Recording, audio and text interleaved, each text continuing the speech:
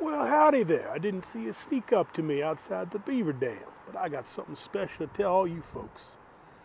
It's an incredible big lighter. Look at this. There it is right there. I mean, talk about a lighter for any occasions. A Halloween party, something more formal.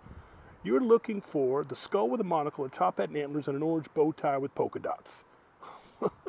with kind of a faux plaid background, this lighter has it all. Express yourself.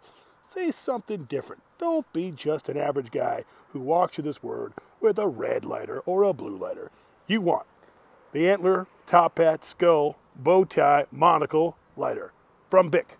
And remember, Jonny Beavers loves you.